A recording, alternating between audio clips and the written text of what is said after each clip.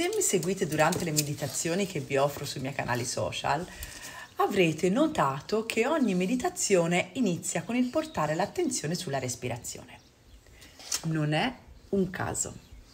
La respirazione consapevole agisce come un vero e proprio massaggio sui nostri organi e inoltre ci aiuta anche a disintossicarci, a lasciare andare via le credenze limitanti, i pensieri limitanti e a trovare serenità e benessere. Per questo la utilizzo in ogni meditazione, per mettere a tacere la mente e tutti i suoi rimuginii. Quindi per oggi, durante la giornata, ricordati di fare qualche respiro profondo, mm, meglio ancora se porti la respirazione nella pancia come bambini appena nati, quindi che gonfiano e sgonfiano mentre respirano. Di solito lo stress fa respirare dalla parte alta del petto, mm, una respirazione di petto, quindi dona calma al tuo corpo attraverso una respirazione consapevole nell'addome.